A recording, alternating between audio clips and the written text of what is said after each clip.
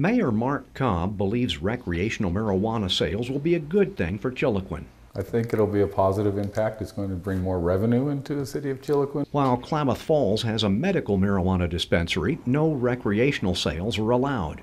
We'll be the first community coming up on 97 out of California to have recreational marijuana. The Chiloquin City Council voted Monday night to amend city ordinances regulating sales. So the city of Chiloquin isn't going to allow big outdoor grows. Um, they're not going to allow businesses to be open on Sundays. The city will allow processing of cannabis for concentrates. Mayor Cobb owns a building that will be used as a dispensary and for processing. He would take raw material, flower, trim, and process it down into a cannabis oil. The recreational storefront would be managed by a dispensary owner from Klamath Falls. Ed Medina with the, a Better Way uh, dispensary down in Klamath Falls. He'll be opening up a new location up here. Mayor Cobb says tax revenues from sales will go toward improving law enforcement and possibly getting a Chiloquin City policeman.